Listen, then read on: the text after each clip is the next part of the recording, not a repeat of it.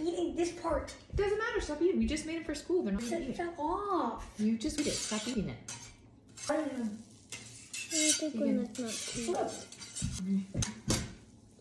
That one didn't taste as good. I know because you it's all oil That's what you just Oh shoot. I'm gonna get a Oh, cup of water. yeah. Anyway. that is good. So good, huh? Cade, why is it so good? It was made with my love. That's right. Mm. Everything's better when you make it with love.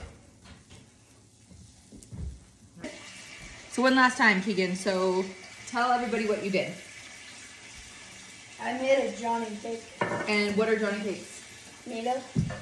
Uh, what are Johnny cakes? Where do they come from? Tell us. Well, they came from New England or Rhode Island, as it's called now. Okay. And yeah, they're Johnny cakes. What's in a Johnny cake?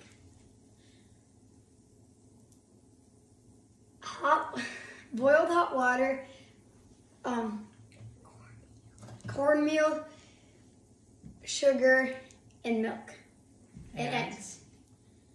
Did you already say boiling water? Right. And then they look like this.